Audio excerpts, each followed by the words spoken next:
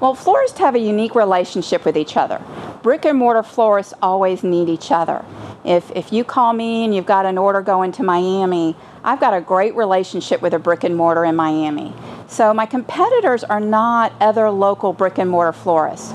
We help each other out and it's very beneficial. But it's um, the online order gatherers, the folks that say they're a florist, but they don't have flowers, they don't have designers, they don't have delivery trucks, they never touch a flower. Um, it's a warehouse in Tucson, Arizona with a phone bank and a credit card clearing machine.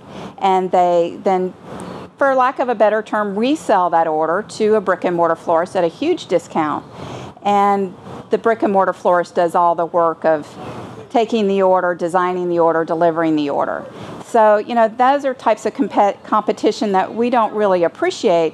Someone pretending to be something that they're not quite truly a florist.